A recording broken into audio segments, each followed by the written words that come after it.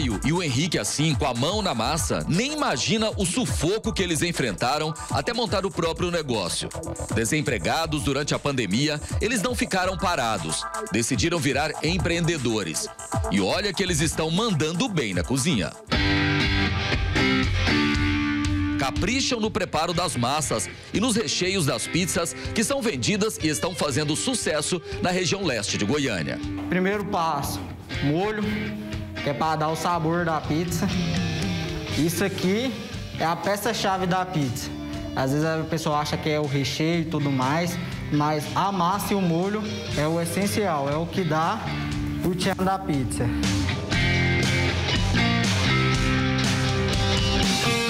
Caio e Henrique moram nesse condomínio de apartamentos no Jardim Novo Mundo, em Goiânia. O novo negócio funciona no apartamento do Henrique e da Renata. Eles começaram tem pouco tempo, mas o resultado surpreendeu os quatro sócios. A gente estava com expectativa de vender ele no máximo 3, 5 pizzas. No primeiro dia a gente vendeu 9, para nossa surpresa. O decorrer da semana a gente imaginou que poderia cair por conta de ser a abertura, né, familiares ajudando e tudo. Só que não, a gente tem dia que vende sete pizza, seis pizza. Então a minha nota para essa experiência está sendo uns nove e meio por aí. Jogador de futebol, Caio já jogou na base do Goiás. Atuou em times como Vila Nova, Grêmio Anápolis, Craque de Catalão e vários outros clubes de Goiás, São Paulo, Minas Gerais e Distrito Federal. Casados há sete anos, o Caio e a Rayane têm dois filhos. Durante a pandemia, a situação complicou para o casal. O Caio está sem clube e a Rayane, que trabalhava na recepção de uma academia, perdeu o emprego. Por, por, conta da pandemia, né? Aí fecha a academia, abre, fica um tempo período fechado, aí abre novamente. Então foi baixa procura, né, na academia. Aí nisso teve que dispensar alguns funcionários, professores, é, da limpeza, e tinha ficado somente eu da recepcionista. Continuou fech tendo fechamento, aí teve ter o corte, acabou acontecendo comigo. A minha carreira esse de jogador de futebol, no, no meu nível que eu estou hoje, são praticamente sim, são clubes de quatro meses, cinco meses, e fica dois, um mês sem renda. Então eu não pensei duas vezes de, estar tá investindo nessa pizzaria. Já o Henrique trabalhava como instalador de internet numa grande empresa. Em setembro do ano passado, ele foi demitido porque a empresa reduziu o quadro de funcionários. Me pegou bastante de surpresa, é, não estava preparado para isso. E foi logo após também quando a gente descobriu a gestação da minha esposa, né? Que aí teve o nosso filho hoje aqui, graças a Deus. Mas assim, foi um momento bem complicado para a gente, porque foi justamente bem, na, bem quando a gente descobriu, né? Que minha esposa estava grávida, então assim, é, passei muito apertado, muito apoio. Foram meses difíceis esses aí sem emprego? Com certeza, foram meses difíceis, né? O que eu posso dizer que deu ajuda para sustentar a gente foi como eu fui dispensado, né? Então eu tive direito ao seguro-desemprego e o acerto da empresa, então consegui manter aí até um, um certo tempo, né?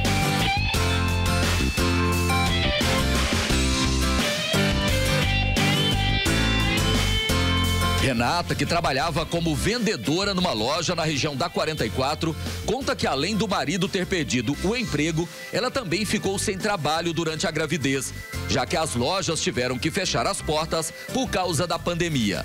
Foram dias difíceis para o casal. Foi bastante complicado, porque já estava tudo fechando novamente, né, por causa da pandemia. Aí ele desempregado e eu também já estava grávida do neném, não podia voltar para a loja que eu trabalhava, porque estava fechado.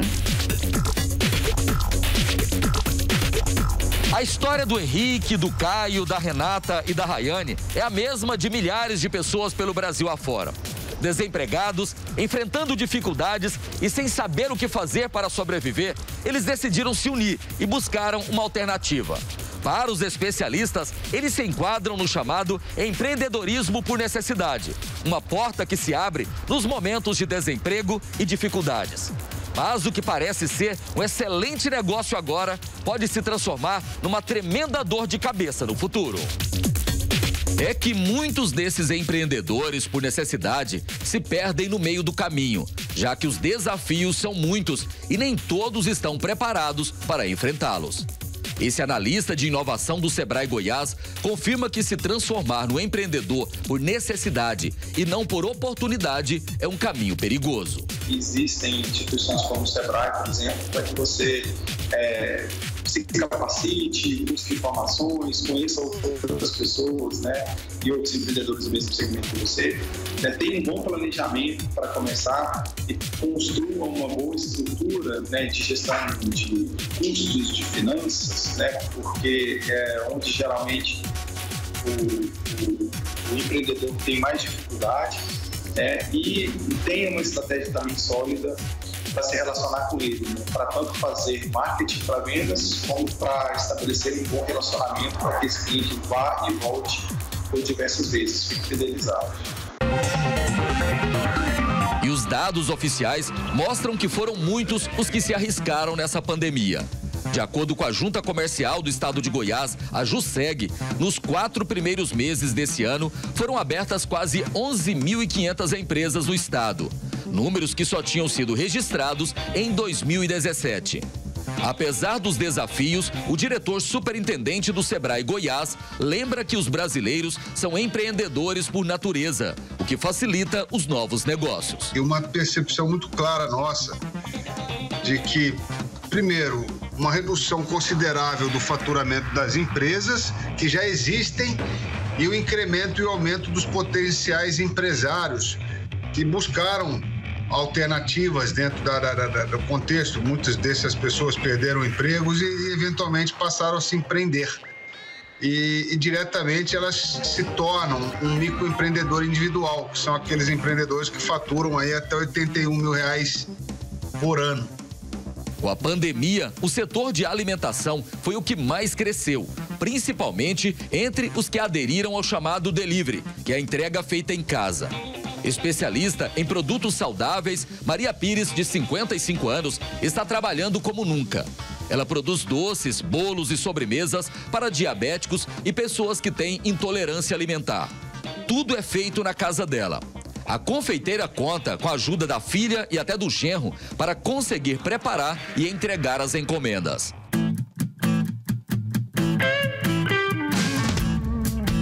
A ideia de virar empreendedora surgiu durante a pandemia. Eu tive Covid e durante o tempo que eu fiquei em casa, eu fiquei estudando, né? Eu estudei, fiz curso, fiz uns cursos, aí eu fiquei assim, gente, a partir de agora eu tenho que cuidar da minha vida porque é uma segunda chance, né, que eu tive. E aí eu peguei, primeiro dia eu saí para a rua. Fui para a rua e fui comprar alguma coisa para ver se eu, se eu fazia uma, uma comida. Eu estava querendo vontade de cozinhar. E aí eu falei, gente, eu vou fazer alguma coisa que eu goste. Alguma coisa que eu goste mesmo. E eu sempre gostei. Sempre gostei. Desde mocinha eu sempre fiz produto dietético, fiz é, eu sempre gostei de estudar. Aí me veio na cabeça, né? Que, que eu tinha. E é bom, sabe? Eu ajudo muita gente. Eu fico muito feliz quando eu posso ajudar. Em poucos meses, o negócio criado pela Maria Pires fez sucesso. Os pedidos aumentaram e as exigências também. A confeitaria que funciona na casa dela é como se fosse uma farmácia de manipulação. Cada pedido é feito sob medida, por isso é preciso estar sempre pesquisando e testando receitas.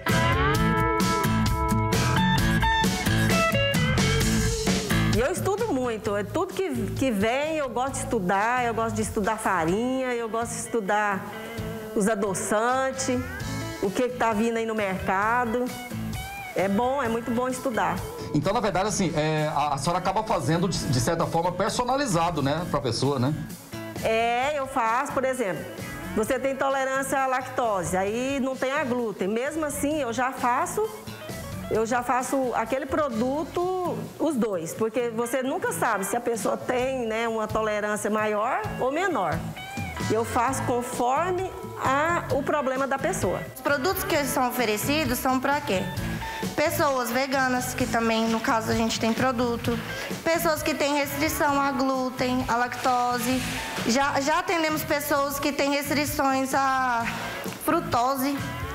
Então, cada caso, cada, cada cliente a gente trata de uma forma direcionada, né? Então, tem, tem uma, uma pessoa que ela não pode certo tipo de produto, ela não pode certo tipo de adoçante. Então, tudo é estudado para conseguir atender melhor.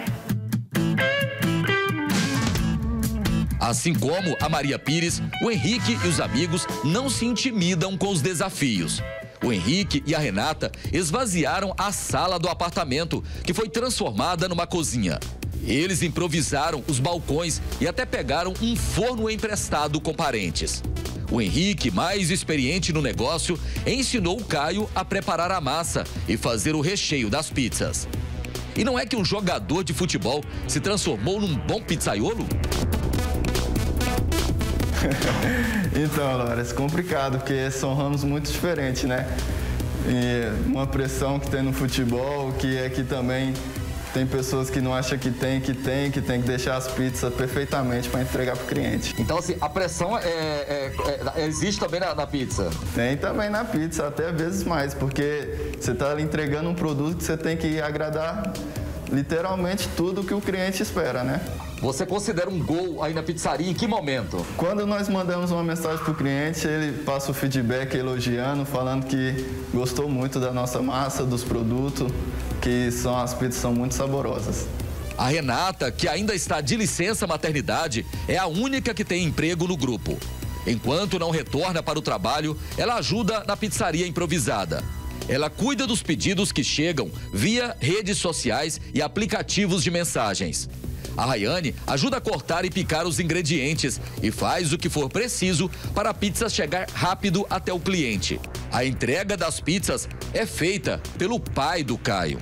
A administração do negócio é em conjunto. As decisões são em grupo. Atos Ribeiro alerta os empreendedores por necessidade para tomarem cuidado com a abertura de negócios por modismo. Investir naquilo que você sabe fazer ou tentar tornar uma atividade prazerosa em negócios, ele tem muito mais a, é, essa, essa conexão, digamos assim, tem muito mais propensão de sucesso, porque a pessoa vai se dedicar é, em uma atividade que ela já tem um, certo domínio, que ela já conhece, ou ela tem inclusive prazer de, de realizar. É importante a gente entender também que esse prazer ele precisa ser associado a, aspectos profissionais. Né? Então, a empresa em qualquer negócio precisa de planejamento, precisa de uma boa estratégia de marketing, precisa ter bons controles financeiros, né? porque é muito comum também a gente ver é, pessoas que começaram a empreender pequenos, né? Fazer essa, essa mistura, né, digamos assim, do caixa, né, dos recursos financeiros pessoais com recursos financeiros do negócio. A empresa precisa de capital de giro, precisa de recursos para poder manter-se ativa. O brasileiro, o goiano, são empreendedores por natureza. É, então, nós temos a concepção de que muitas vezes nós temos modelos que são bem referenciados e bem criativos e que tornam-se sucesso dentro do desenvolvimento da atitude, do empreendimento, do empreendedor e, e principalmente da oportunidade que existe. Então eu diria que certamente um processo de inovação ele é fundamental, mas muitas vezes nós fazemos o básico e, e, e temos sucesso com a implementação e com principalmente com o caráter de orientação bem adequado dentro da atividade que está sendo feita.